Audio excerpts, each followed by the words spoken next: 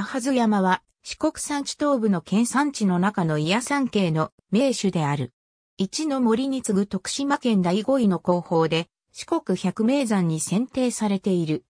四国には他に同名の八津山が同じ県山地及び佐抜山脈にも存在し、剣山地にある方は特に土佐八津山とも呼ばれる。さらに徳島県内には長町や麦町にも八津山が存在する。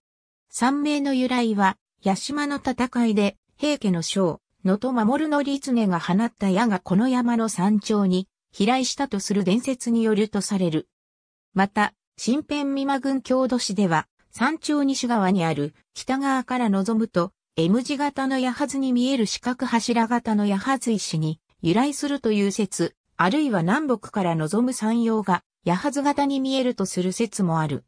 このような中央が M 字型にくぼむ山は、東日本では駒ヶ岳と呼ばれるのに対し、四国では八津山と呼ぶ。山頂には二等三角点、八津山が設置されている。標高1800メートルより、上部は岳寒場林に覆われる。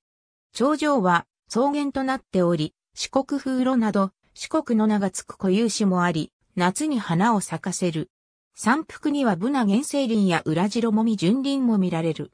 県道44号線の落合峠から北東側へ尾根筋を縦走するルートが最も楽に山頂に立てる登山道となる。ありがとうございます。